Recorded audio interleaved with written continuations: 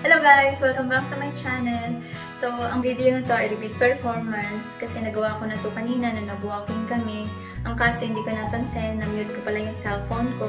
So anyway, ang video na to is about reaching 1,000 subscribers.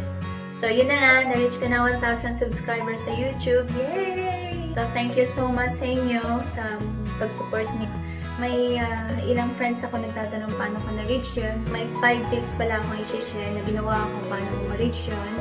Uh, una, pag nag-upload ka ng unang-unang video mo, uh, inform mo yun, syempre inform mo yung family mo, yung friends mo, na gumawa ka ng YouTube channel, na subscribe, likes, at saka i-views yung mga videos mo.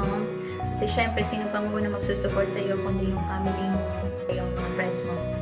So, yung pangalawang tip naman, i-share mo yung link ng YouTube channel mo sa lahat ng group chat mo. Siyempre, may mga group chat ng elementary, high school, o kung anong group chat man yan, i-share mo doon. Sabihin mo, i-subscribe ka din, i-like at i-views yung mga videos mo.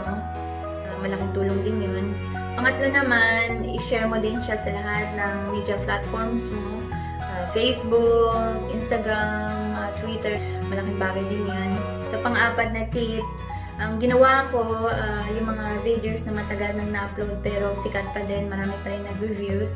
Nagko-comment ako doon ng Who's Here in 2020.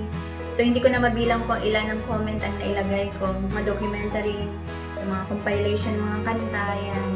Marami talagang views sa mga ganyan. Yung pang-fifth na i-share ko na which is nakatulong din na malaki sa akin. Sumala ko sa mga groups na ang purpose ay palagay ng YouTube channel nila, uh, padami ng subscriber nila. Sumali ako sa kanila mid-June siguro. Kaso, syempre, limited lang din yung time ko kasi nga may full-time job din ako. Pero kung araw-araw nyo, tsaga lang kayo, uh, siguro within month, makukuha mo din 1,000 subscriber. Pero syempre, kung nagpapalago kayo ng subscriber, huwag nyo rin kalimutan yung watch hour nyo kasi yun din ang hirap kunin. Dapat ma-reach mo yung goal ng 4,000 watch hour within a year.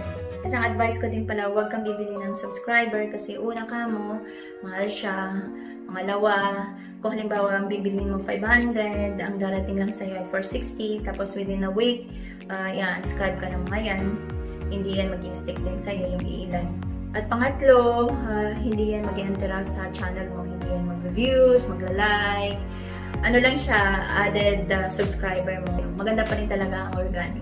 So, yun ang 5 tips na pwede makatulong sa'yo. So, unang-una talaga, nakaka-frustrate siya. Huwag kang magalala. Tsaka ka lang mag-post ng mga videos, darating din yan. So, lahat naman tayo nag-start sa ganyan. So, tsaga-tsaga lang talaga. So, again, thank you so much po sa nag-subscribe sa akin. Much po sa support. Ingat po lagi. God bless. Thank you.